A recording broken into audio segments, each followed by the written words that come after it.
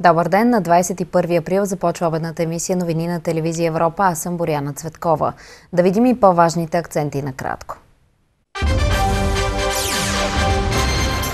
Полицаят Петър Иванов, вторият пострадал на стадиона след хвърлена самоделна бомбичка по време на мача Левски ЦСК, разказа за случилото се. Проби в разследването по случая Скрипал. Светът е в очакване на третото бебе на херцозите на Кеймбридж, Кейти Уилям.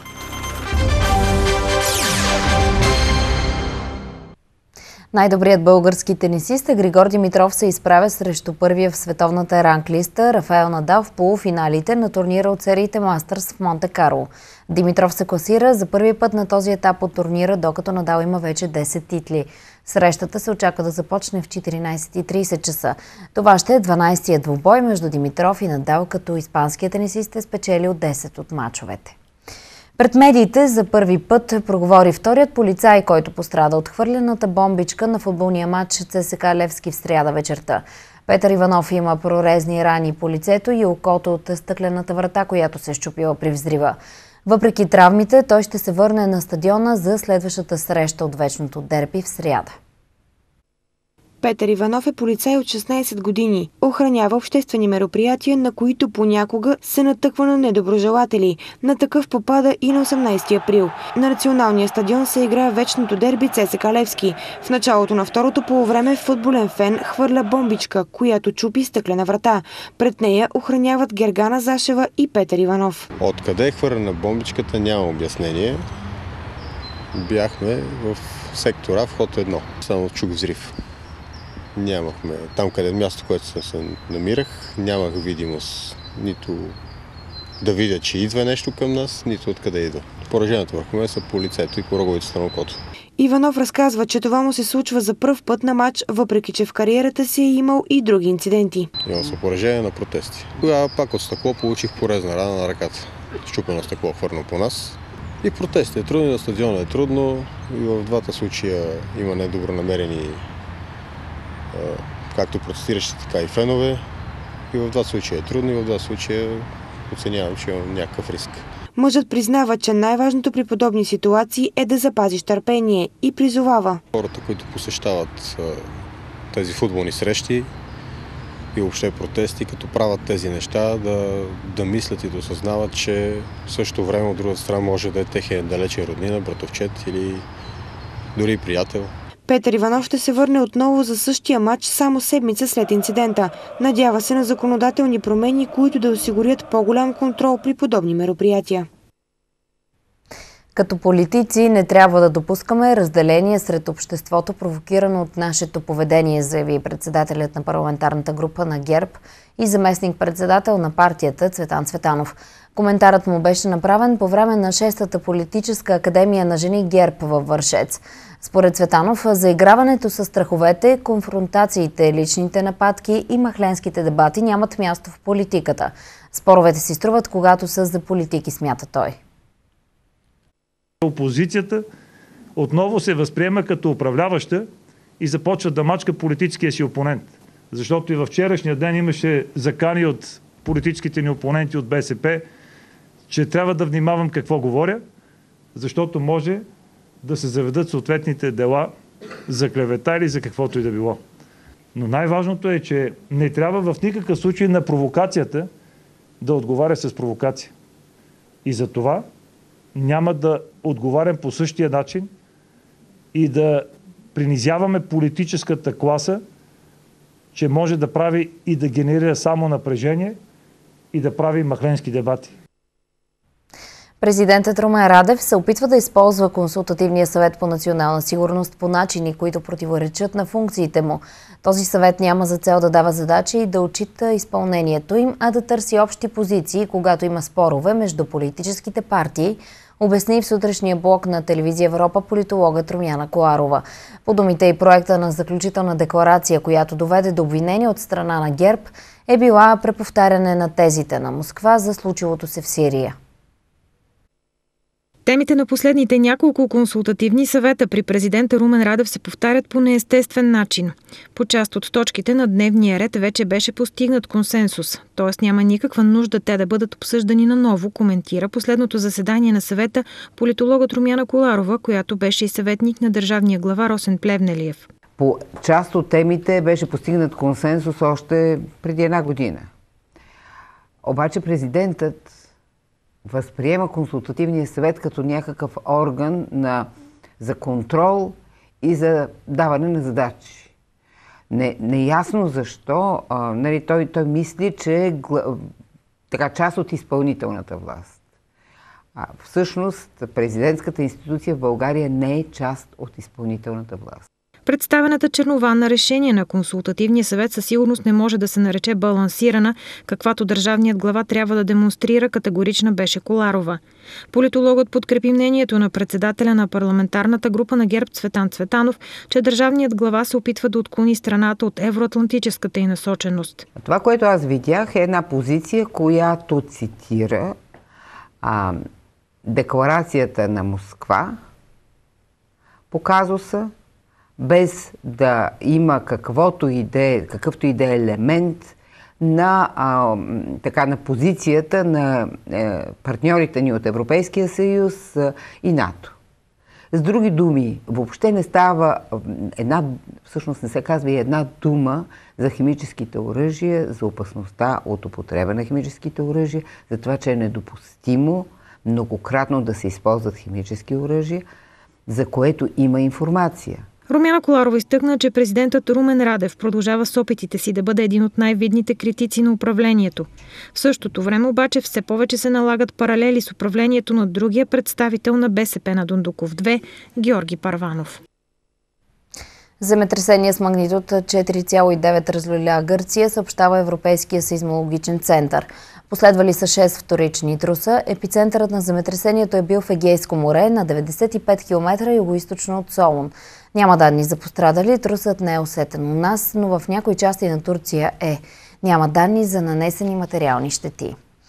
Не се очаква скок в цените на горивата през лятото. Това потвърдиха за телевизия Европа експерти от Българската петролна и газова асоциация. Според Светослав Бенчев дори се залага на стабилизиране на нивата. По думите му, дори да има движение в посока нагоре при цената на петрола, тя ще бъде парирана веднага от повишаването на добивите на американските шистови производители. В момента това, което е много важно да се отбележи, са конфликтите в Сирия, бомбардировките, които извършиха съюзниците, както и ще бъде изключително важно какво ще се случи май месец, тъй като тогава президентът Тръмп ще реши дали да наложи санкции на Иран за ядрената програма.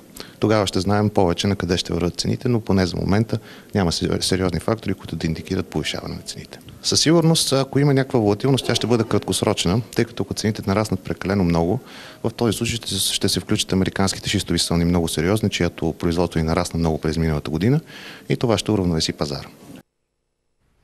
Северна Корея вече няма нужда от ядрени и ракетни опити, обяви държавният ръководител Ким Чен Ун, цитиран от световните агенции. Севернокорейският лидер каза, че страната му ще затвори своя полигон за ядрени изпитания и ще прекрати изстрелванията на междуконтинентални балистични ракети.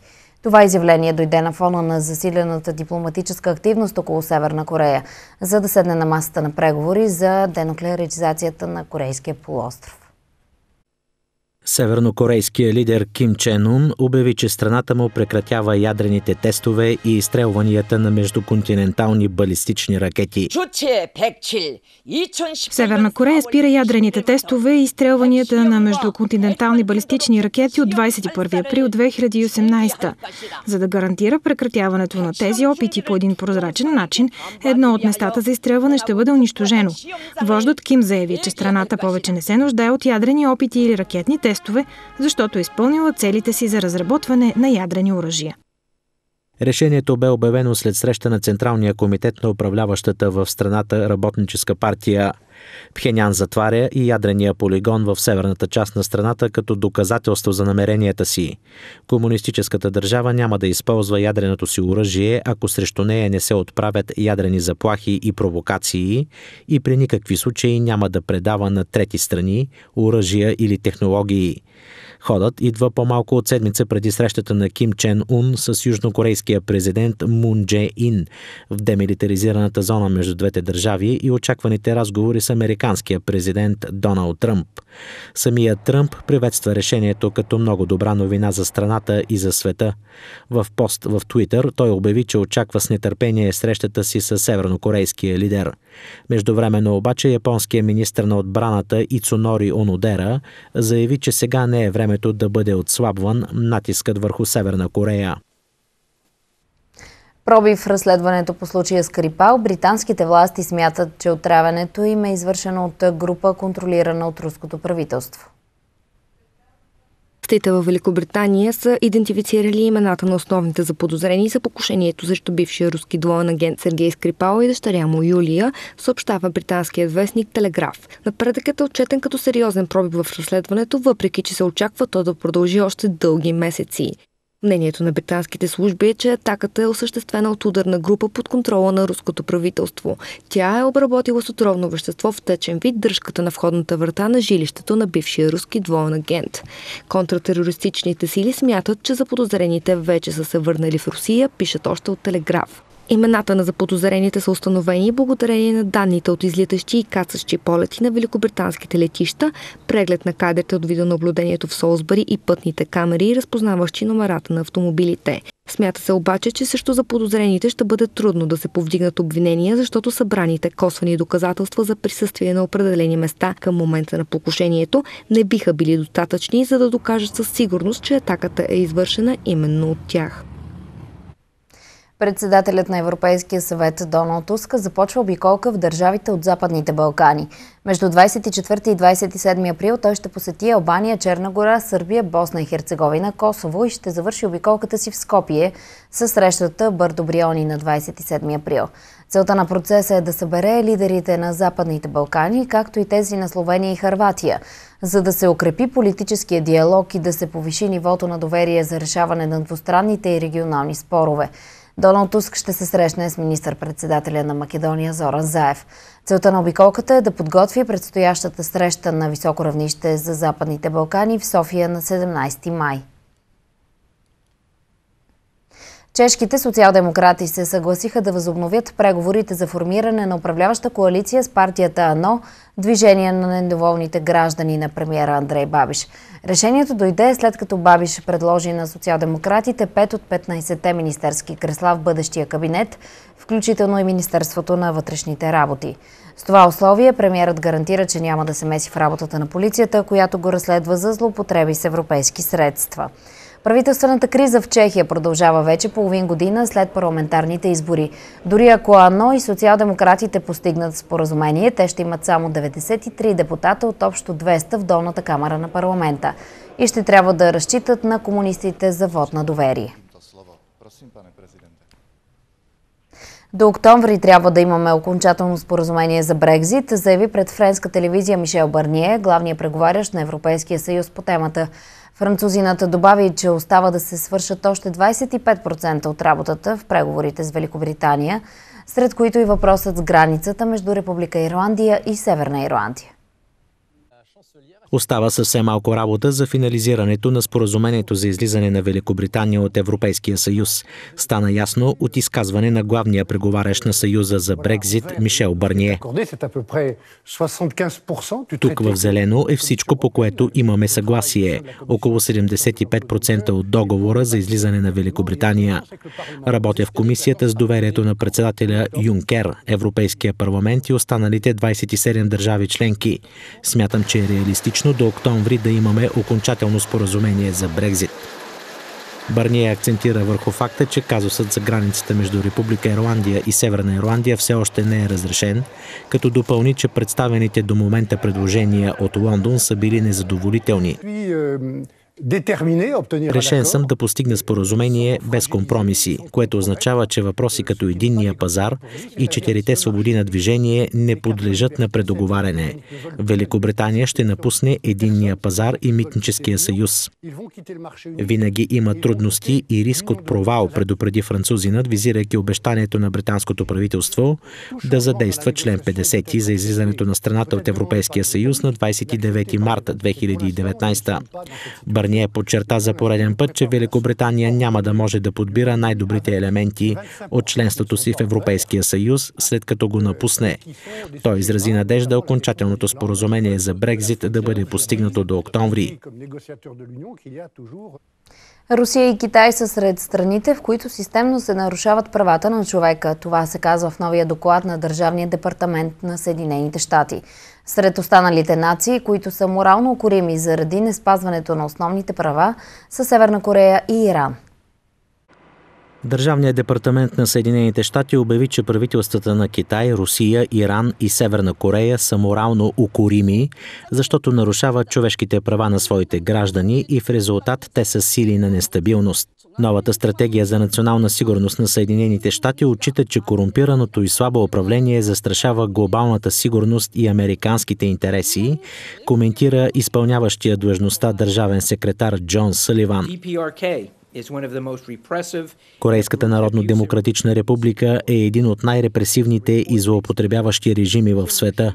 Както става ясно от доклада, режимът на Ким систематично пренебрегва благополучието на собствения си народ, за да финансира незаконните си оръжейни програми, чрез принудителен труд, детски труд и износ на работници. Държавите, които ограничават свободата на словото и на мирните събрания, които позволяват и извършват насилие срещу членове на религиозни, етнически и други малцинствени групи или накърняват достоинството на личността, са морално укорими и подкопават нашите интереси, обясни Саливан. Руското правителство продължава да потушава всякакви форми на несъгласие и гражданско неподчинение, докато влиза в териториите на своите съседи и подкопава суверенитета им. Призоваваме за пореден път Русия да прекрати своята брутална окупация на Кримския полуостров, да спре злоупотребите, извършвани от нейните сили в Донбас, Украина. Съединените щати се стремят да водят другите нации чрез своя пример в промотирането на справедливо и ефективно управление на основата на върховенството на закона и спазването на човешките права и ще продължат да подкрепят онези по света, които се борят за човешко достоинство и свобода, заключи Джон Саливан. Децата в Сирия живеят в условия на гражданска война от 2011 година. Те нямат достъп до образование, медицински грижи, вакцини, а за да се предпазят от въздушните атаки, животът им е преминал в убежища. Вижте още. Децата от Дума също мечтаят.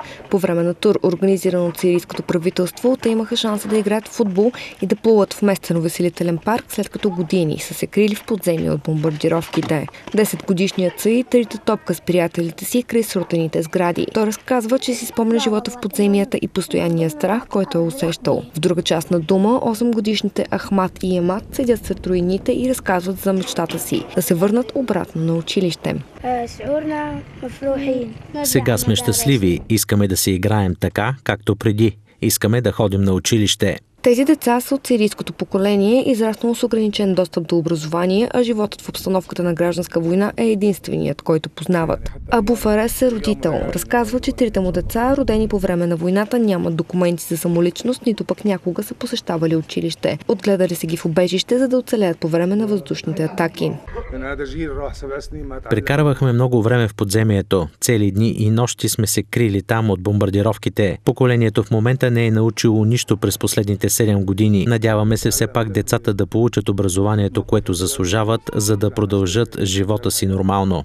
Образованието обаче е само един от големите проблеми, които имат децата от дома. По-голямата част от тях нямат вакцини, други пък имат тежки травми, които могат да се лекуват само в болница. В момента болницата в сирийския град е изградена в подземие през 2013 година в бивша правителствена сграда.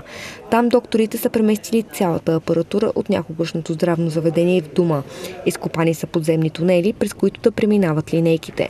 Болницата се състои единствено от операционна, отделение за интензивна грижа и спешен кабинет. Възможно ли е да се появи днес третото дете на херцозите на Кембридж? Ако се случи, това ще бъде най-големият подарък за рождения ден на кралица Елизабет II. Тя навърши днес 92 години, като освен традиционните топовни салюти в нейна чест, ще има и концерт в зала Royal Albert Hall в Лондон. Най-големите почитатели на британското кралско семейство са заели удобни позиции пред болницата Сейнт Мери в Лондон, за да станат свидетели на пристигането на Кейт Мидълтън и раждането на третото й дете – около крилото Линдо на лечебното заведение е шумно и цари приятна бъркотия. Макар, че дворецът Кенсингтън не е съобщил точната дата на термина на херцогинята на Кеймбридж, очаква се тя да постъпи в близките часове в болницата, където роди и предишните си деца, принц Джордж и принцеса Шарлот. От една седмица най-преданите и запалени монархисти лагеруват на палатки пред Сейнт Мери, където и полицаите са доста повече. Yes, има засилено полицейско присъствие и много телевизионни станции от цял свят. Тук около нас се разхождат много оператори, които са готови да снимат, ако Кейт се появи. Според нас ще се случи скоро. Ако се роди на 21 април, бебето ще бъде най-големия подарък за прабаба си, кралица Елизабет II, която празнува 92 години. Полът на детето не се знае и от самите родители, макар че имаше спекулации, че може да бъде момиче, защото Кейт се появи на няколко светски събития, облечена в розова рокля. За рождения ден на Нейно Величество е организиран концерт в зала Royal Albert Hall с участието на Том Джонс, Кайли Минок, Стинг, Шаги и други звезди. Музикалното събитие е пробив в традицията за коронованата особа, тъй като обикновено тя празнува в тесен семейен кръг. Въпреки това цялата нация отбеляза 90-та и годишнина преди две години. Елизабет Александра Мери е родена на 21 април в Брътън Стрит в централен Лондон. Става кралица на Великобритания през 1952 година на 25 години. Иновации за пречистване и използване на ресурси от отпадъчни води и твърди отпадъци ще бъдат разработвани в нов експертен център към Софийския университет. Проектът е по оперативна програма Наука и образование за интелигентен растеж. Нов експертен център за изследване и оползотворяване на отпадъци ще бъде създаден на територията на София. Той ще е част от биологическия факултет на Софийския университет Свети Климент Охридски. Центърът е финансиран от Европейския съюз, а първоначално в него ще заработят 50 експерти. Целта е да се създават иновации за извличане на възобновяеми альтернативни източници и ценни ресурси, така че да заработи енергийно ефективна кръгова економика. Върху част от технологиите се работи от години, обясни за телевизия телевизия Европа координаторът на проекта професор Яна Топалова. Ще ускоряваме процесите на разграждане и пречистване на токсични замърсители. Ще пречистваме води чрез алги. Това са едни много специални водопречиствателни технологии, когато се използват водорасли, които ще отстраняват всички замърсители от водите, въглерода, азота, фосфора.